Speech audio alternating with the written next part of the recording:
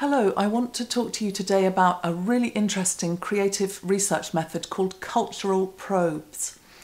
And this was developed, um, I think, by William Gaver at Goldsmiths and colleagues around the turn of the century. And they are designers, design researchers, design academics.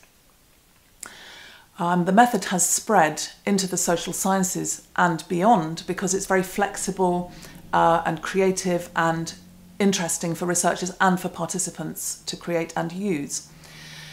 A probe means some kind of artifact that a research participant can interact with. So, for example, perhaps a postcard uh, with a particular picture and message on the front for the participant to respond to in a message on the back, or a map with stickers for a participant to show where they've been or where they would like to go or where they habitually visit maybe a digital camera with prompts or prompts for a smartphone if participants have smartphones for taking pictures, maybe a structured diary in a nice notebook. Probes tend to be quite attractive.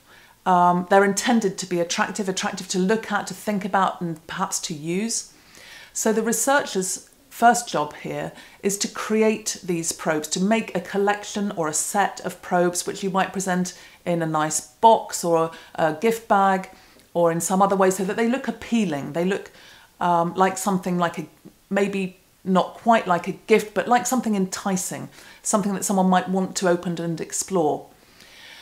I've expressed this as though all probes are hard copy or solid artifacts, but they can be digital or they can be a mix. There are various ways of doing this. I don't think we've found them all yet. And then when you've created your collections or sets, you present one to each participant and invite them to interact with whichever probes they wish, whenever they want and however they like. So it gives participants a lot of flexibility. They don't have to interact with every single thing you give them. And these sets or collections often contain eight or nine or ten items. Um, there are no rules about numbers, but I think the idea is to give participants enough so that they've got a real choice about what they want to engage with. And then the probes are left with the participant for a period of time, and that's usually followed up with an interview, which can be in person or online. I don't think it would work too well as a telephone interview because you'd need to be able to see what participants have done with their probes. Or they might send them back to you first and then an interview. There are various ways of making this work. It's very flexible, which can be very, very helpful.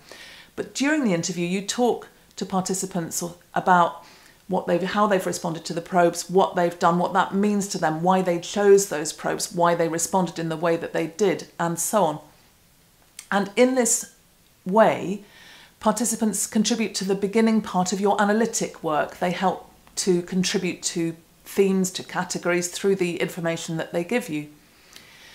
There's still then a chunk of analytic work for researchers to do, and that can be challenging because of the diversity of the materials that you're likely to receive from your participants.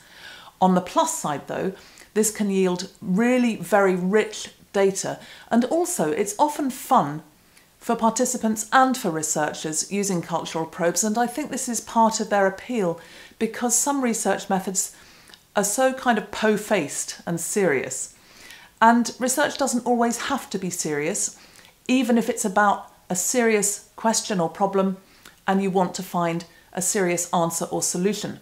The process can still be fun. And using cultural probes is one way to help that to happen.